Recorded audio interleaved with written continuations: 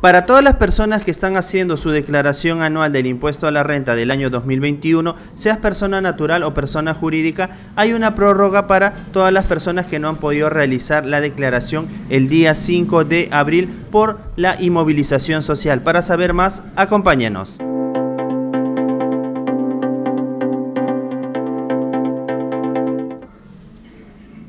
Muy bien amigos, en este momento aquí tenemos un comunicado de la SUNAT en la cual menciona lo siguiente.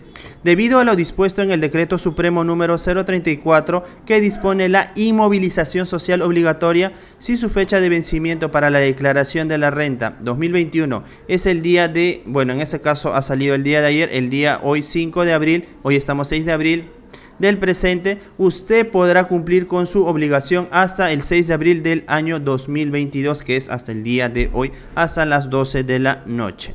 Siempre que su domicilio fiscal se encuentre ubicado en los distritos de Lima Metropolitana del Departamento de Lima y en la provincia constitucional del Callao al 4 de abril del presente año. Así que a tener eso en cuenta. Porque aquí vamos a ver rápidamente un pequeño... Esperen un momento el cronograma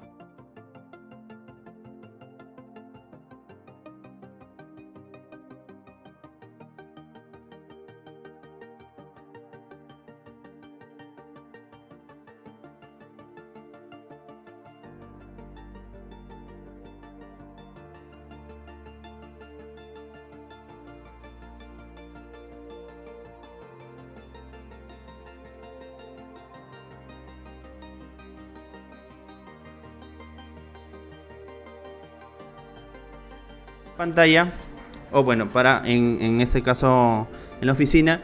Bien amigos, entonces en conclusión para todas las personas que viven en Lima y Callao, o mejor dicho que las empresas estén en Lima y Callao, hasta el 4 de abril del año 2022 van a poder realizar sin ningún tipo de problema la declaración hasta el día de hoy que es 6 de abril del año 2022 exclusivamente para los que terminan su número en el su último dígito de su RUC en el 7. Y eso básicamente sería todo. Y si tienen dudas, comentarios sugerencias, déjenmelo saber en la caja de comentarios. Y ya saben amigos, nos vemos en un próximo video.